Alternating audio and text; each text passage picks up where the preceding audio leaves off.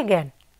We know a set of usual distributions from statistics, some for discrete variables, other to continuous ones, which in our context usually translate to symbolic versus numeric variables. Among the probability distributions, some are of particular interest given their correspondence to real phenomena. The uniform to represent equal frequent values, the Bernoulli to represent binary variables that assume one of two possible values, the Poisson to express the probability of occurrence of a set of events in fixed intervals, the binomial to describe the probability of k successes in n draws with replacement, or the hypergeometric, similar to the binomial, but for draws without replacement. For continuous variables, the normal or Gaussian distribution is our best friend in data science and is used whenever we don't know much about the data. The exponential is the distribution to use to describe events which occur continuously and independently over time at a, at a constant average rate, but also the log normal or the chi-square the distribution best suited for describing the sum of the squares of k-independent standard normal random variables, and lots of other well-known and studied distributions. But most of all, we can use them as a reference to approximately identify the distribution under our variables. Recognizing their shapes may help on making decisions about how to deal with each variable. In particular, the normal distribution has some very interesting properties that, help, that helps our choices considerably. Any variable following a normal distribution with mu mean and sigma standard deviation would have approximately 68% of the records assuming values between mu minus sigma and mu plus sigma. More, it would have approximately 95% of the records assuming values between mu minus 2 sigma and mu plus 2 sigma. And almost all the data, approximately 99.7%, would be between mu minus 3 sigma and mu plus 3 sigma. Given these properties, it is easy to see that we can just use them to present a statistical definition for outliers. So, an outlier is an, an unexpected value, very uncommon and that is too large or too small when compared with the variable's mean. So we can say that an outlier is any value lower than the mean minus n standard deviations or higher than the mean plus n standard deviations. Besides the central tendency, another important data characteristic is its dispersion along its range. range. Standard deviation and its square value, the variance, measure the variability of the data, giving an insight about how dispersed is the data around its average.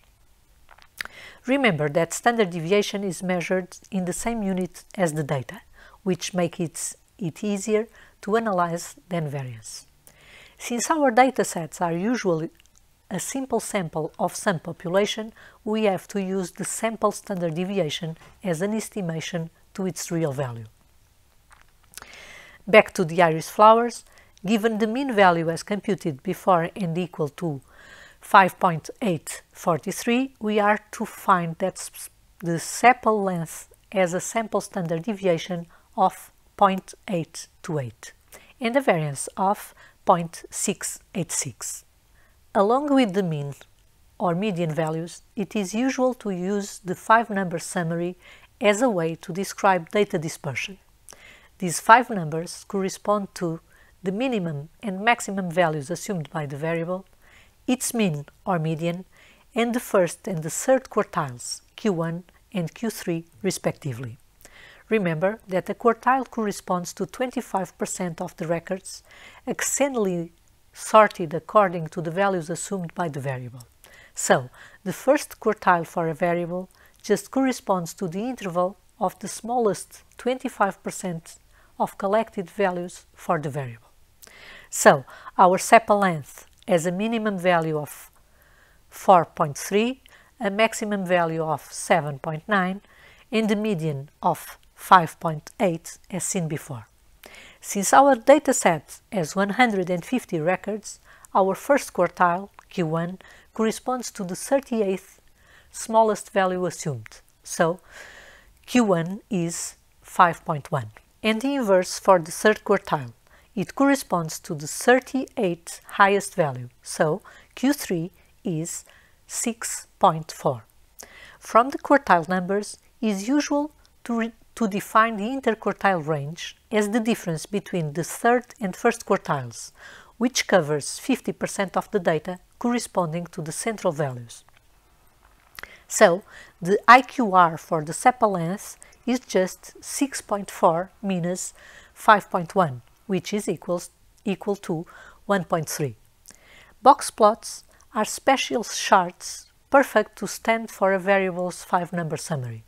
In this chart, the data is represented with a box that starts in the first quartile and ends in the third one, and where the median is signaled with a mark inside the box.